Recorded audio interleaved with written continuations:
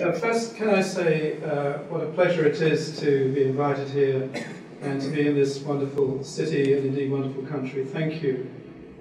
And, and secondly, can I say that I'm completely amazed to see an audience of orthopaedic surgeons on a Friday afternoon prepared to listen uh, to an Englishman talk about placebo. That is really extraordinary. This would not happen in England, trust me on that. So, uh, well done for staying, and indeed well done uh, the organisers for thinking of putting on a session in an orthopaedic meeting about placebo. Brilliant. So, um, who am I? Well, um, I'm very old, so I'm an emeritus professor now uh, at the University of Exeter Medical School. I also have a scholarship from the Institute for Integrative Health in Baltimore. So uh, those two institutions are my funders, and I'd just like to acknowledge and thank them. So uh, I, I, was a physician uh, in my working life, uh, not a surgeon, I'm sorry about that. But my research interests are osteoarthritis and joint replacement, as well as placebo and healing. So because I've had an interest in osteoarthritis and joint replacement for many years, I'm actually quite used to standing up in front of audiences of orthopedic surgeons. I know a little bit about how you work and think, so I will speak very slowly.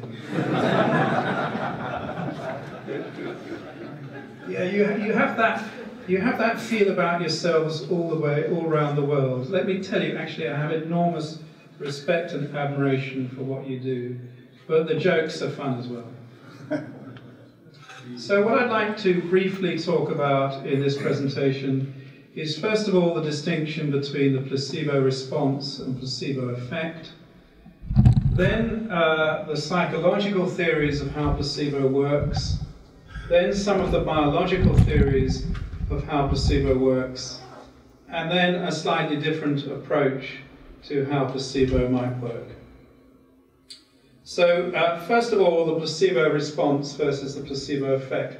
So, the placebo idea is, is just an artificial construct derived from ra randomized controlled trials. It's a, it's a meaningless idea, really. It was discovered that if you give a sham treatment, people get better. And that kind of confused trialists and led to us talking about this placebo thing. The important thing it teaches us, though, is that you can make people better or worse without a real intervention like surgery. So that's the importance of it. The dummy treatment bit is actually really irrelevant. So this is the discovery, as you've already seen from the previous presentation. If you do a trial and you try your treatment, you get an effect, and you have this, the sham, the dummy, but you get quite a big effect. And the only bit you're really interested in is this bit, and that's just a nuisance. And that's the placebo response. But the interesting bit is if you then have a no treatment control group, and you find that you've still got quite a big difference here, and that's the placebo effect. And that's extraordinary, really. If you compare doing nothing with giving nothing, you do nothing or you give nothing, if you give nothing, you get a much better effect than if you do nothing. And that's the placebo effect. And that is remarkable uh, and it's huge. So it's actually responsible for most of the effect of antidepressants, as Irving Kirsch has shown. It's responsible for most of the analgesic activity of non-steroidal anti-inflammatories, as Wei Zhang has shown, and it's a major component of the response to surgical procedures, as Jonas and others have shown. So this is a huge thing. Uh, the efficacy, as was mentioned by Thomas right at the beginning, uh, has been calculated uh, to be around 0.5, which is big. Uh, but that's the efficacy, that's artificial setting. The effectiveness in clinical practice we don't really know because it's difficult to work out. But uh, it's been estimated that placebo effects are responsible for about 75% of the pain relief achieved with any intervention for painful osteoarthritis. So whatever we do, we're mostly just doing placebo. So how does it work? Well, there are uh, three psychological theories, first of all, which I'll briefly talk about expectation, conditioning, and meaning. Now, the dominant theory is that expectation. So, the dominant theory of the psychologists is that what happens is what we expect to happen. A slightly bizarre idea in a sense, because of course expectations or our beliefs about what will happen are complex and they're not single. So we have big beliefs. We might have a big belief that God will look after us in the end. We might have a little belief that maybe herbs would be better for us than surgery. But we've got lots of mixed up beliefs. So it's not as simple, I think, as the literature would have us suggest. But having said that, it can work to a fairly extraordinary level. So placebo experiments, for example, have shown that if you give people a cup of coffee and you tell them it's got caffeine in it, they will often get the physiological and psychological response to caffeine, even if there's no caffeine in it. So the heart rate goes up, they will start getting agitated, all those types of things, but there's no caffeine at all. Conversely, if in a trial, or indeed in a clinical situation, you tell people that there'll be some side effects of the treatment, they're quite likely to get those side effects even if you have a dummy treatment or don't do anything. And of course, the implications of that for the way we deal with our patients are huge. What do we tell people that they should expect? How do we deal with what they've read on the internet or whatever? And in trials, and this is something that really bothers me, what are we doing with our consent form to a trial? We're telling people to expect something. So, of course, that's going to happen. So, trials are almost a self fulfilling prophecy. And uh, it works in orthopedics. Um, so, as you know much better than I do, joint replacement's a good intervention for hips and knees, but it doesn't work in everybody. Some 20 to 25% of people who have a knee replacement don't do well, for example. But one of the predictors of whether you'll do well or badly from, from joint replacement surgery is your expectations. The higher the expectations, the better you will do. So this is relevant to even uh, uh, uh, a so-called brilliant, perfect, rational, mechanical intervention, uh, such as a joint replacement. Now, the second uh, theory is conditioning. I don't think this is terribly relevant to orthopedics, but it's quite interesting to those of us uh, who research this area. So this theory suggests that placebo effects are due to our being conditioned to respond to an intervention like Pavlov's dogs.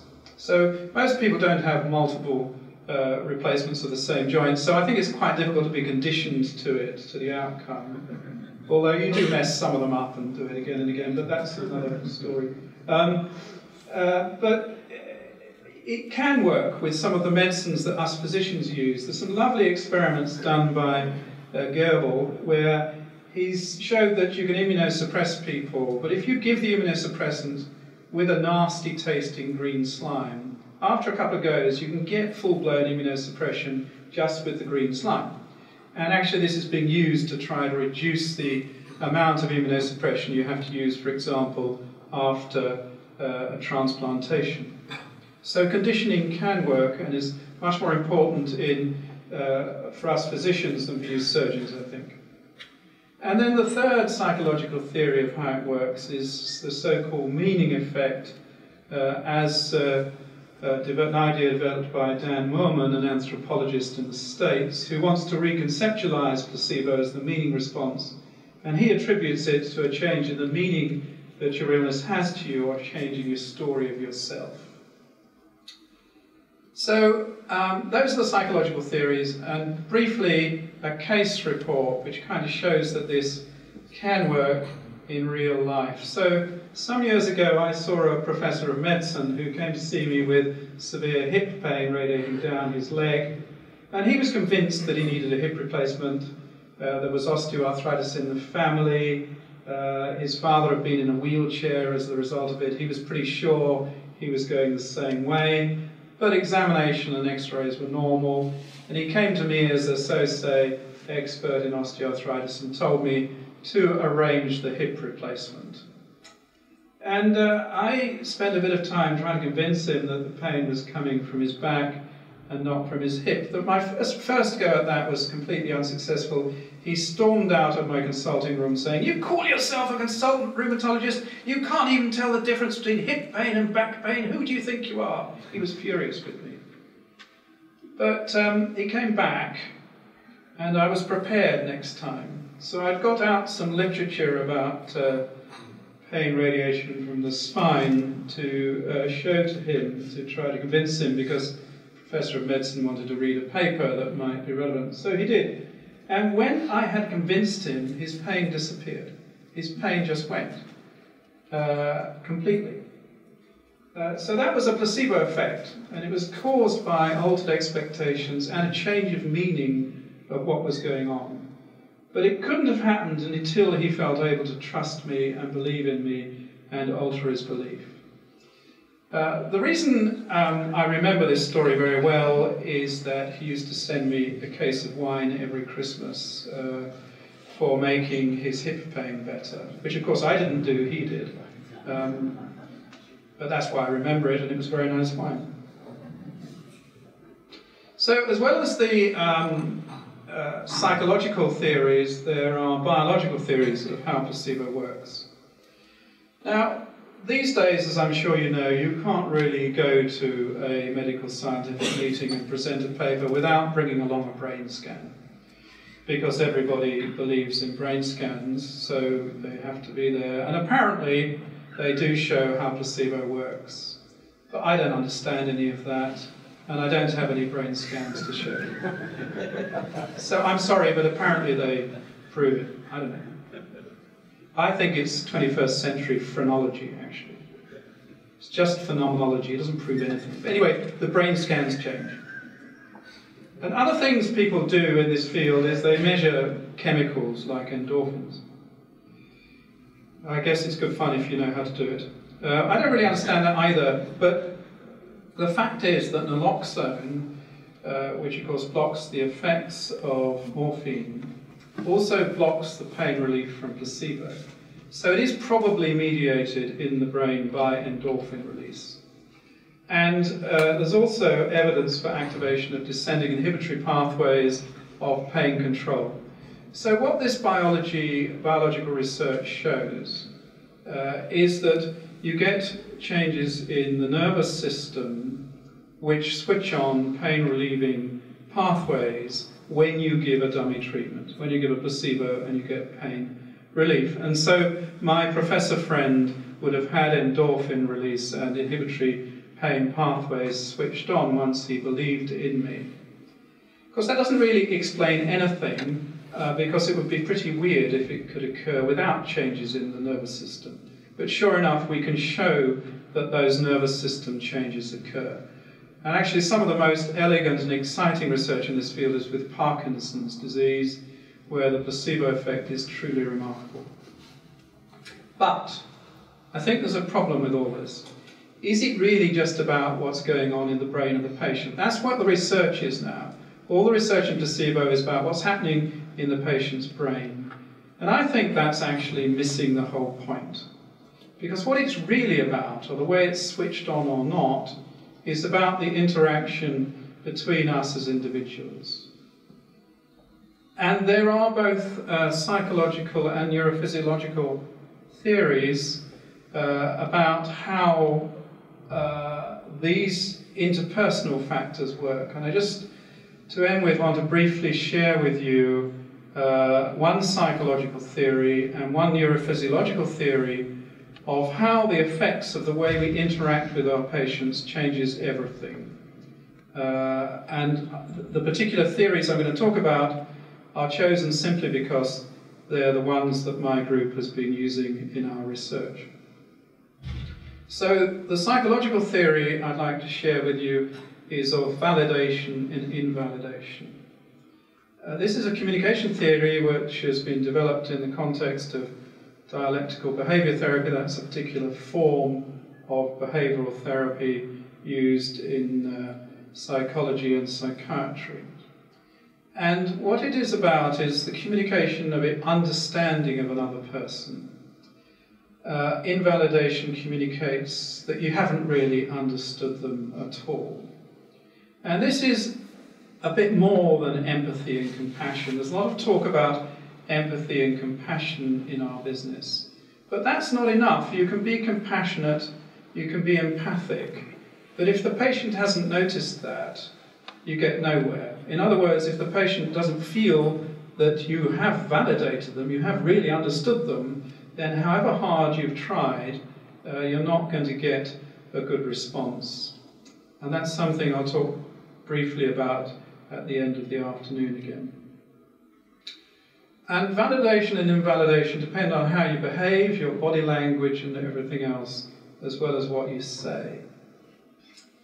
Now, the neurophysiological theory that relates to this is the polyvagal theory of social interaction developed by uh, Stephen Porges uh, in Chicago. Now, this theory is about the fight or flight response, which you all know about. That if we feel threatened, we get very anxious, we get uh, excited. Uh, that's our fight or flight response. If it gets extreme, we just shut down. And these are responses, automatic responses, to protect us uh, from predators, from threat, to help us run away more quickly uh, from the mammoth. But what Stephen Porges has shown is that in higher animals like humans, we have an opposite system that helps us work in groups and helps us nurture our young, because our young are completely useless for a long time. Uh, and it's best that we don't kill them all off. We're getting so frustrated with the young baby who's just crying and all the rest. And we don't kill them off because we nurture them. And this is the nurture, nurturing response. And it's sort of epitomized by what happens to most human beings when they see a picture like this, or better, can cuddle the baby and see it smile. Then you relax your heart rate goes down, you feel good, you feel uh, that the world's uh, an okay place, and you want to look after that baby and you feel for it. You have your nurturing response switched on by a baby's smile. Uh, and we're hardwired for this through the vagus, uh, just as we're hardwired for fight or flight. But the other intriguing thing about this is that when the nurturing response is activate, we, activated, we can communicate with other people much better. So I'm feeling, this is quite surprising really, but I'm feeling reasonably safe in front of an audience of orthopedic surgeons. So because I'm feeling reasonably safe, uh, my voice is modulated, it's going up and down, I'm able to look you in the eye, I'm actually picking up the way that you're responding to me. Some of you are listening, I know that. Yeah, see, not a lot, but some. Um, whereas if I was frightened of you, I would be talking like this, I would not be able to look like you, uh, at you at all, and I would not know what is going on in this room. That's what happens if you switch on the threat response. You don't communicate, you don't hear anything. And that's why if a patient's in your consulting room and you say something like, well, I don't think it's cancer. All they hear is the word cancer. They hear nothing else.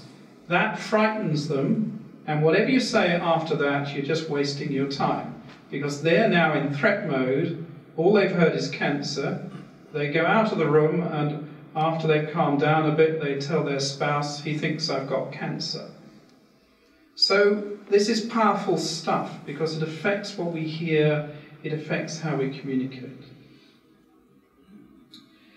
And uh, the reason I'm putting these two theories in front of you as crucial to placebo and indeed nocebo is really the work of uh, one of my PhD students, Maddy Greville Harris, uh, who uh, did a thesis that I think shows reasonably convincingly that in order to activate a placebo response, and I've already told you how big and important that is. Someone has to feel safe, and you have to validate them. They have to feel safe, and they have to feel you've understood them. And then you will get uh, the full effect of this remarkable phenomenon of the placebo. So um, my conclusions are first that it's a major component of the response of interventions to everything we do, including surgery. Expectations of making new meaning are important psychological mediators of the effect, and uh, it is also mediated through strange and weird things happening in your brain and spinal cord. But for me, the critical bit of this is what happens with patient practitioner interactions and the need for us to make our patients feel safe and to validate their experience. Thank you.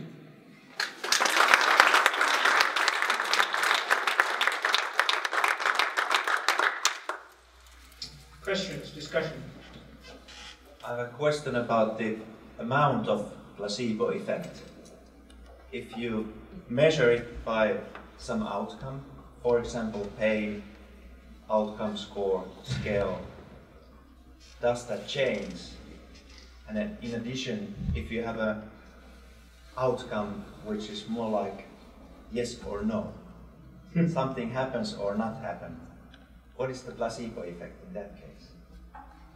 Okay, thank you. That's a good question. So, yes, it's fairly easy to show major changes on uh, standard measures like, say, uh, a visual analog pain scale. Uh, because one of the problems with all of this is that the research is all done in a very artificial sort of context, so that the some of the other effects that the first speaker was talking about interfere with this. But experiments constructed to compare uh, various interventions to try and conceal what's going on have been done, particularly for acute pain. There's a researcher in Italy called Fabrizio Benedetti who's done a lot of this work.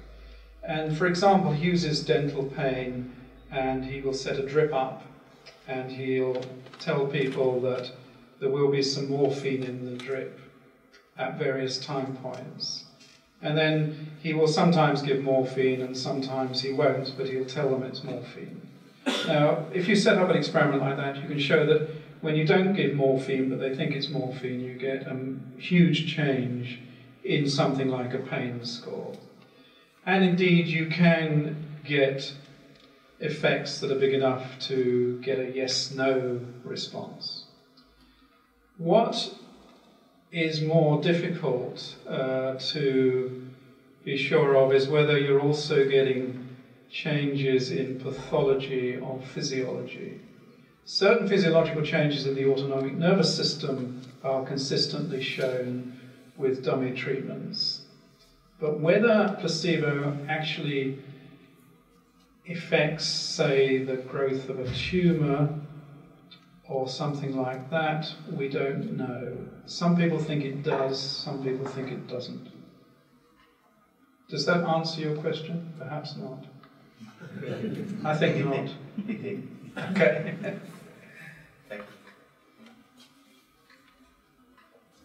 Juha Paloneva, Central Finland Hospital. Uh, thank you very much for your great presentation and I'd like to ask uh, what would happen if you give the patient an effective treatment but say that there will be no effect yes. in that treatment so I wonder if I could call it sham placebo or something. yes. Now that, that's an excellent question and, and what happens is that it's much less likely to work your effective treatment is much less likely to work if you tell them it's not going to work. Now, I've been quite careful in my language so far this afternoon. That may change later, but um, I haven't been very insulting to orthopedic surgeons, which is unusual actually. But um, I've been quite careful to say may and sometimes because the placebo and indeed the nocebo response, which is what you're talking about, blocking a response by telling them it won't work, which is part of the nocebo phenomenon, the opposite of placebo. They work better in some subjects than others. And also, very intriguingly, some doctors are better at inducing placebo and nocebo effects than others. So it's probably all to do with how convinced they were by what you told them and your body language and the context in which it was. Things I'll talk briefly about at the end of the afternoon. Uh, so that you can't be sure it won't work. It might still work brilliantly because they thought you were a bit of an idiot when you said it wouldn't work, perhaps. But you, you've got a good chance of blocking it if you do that.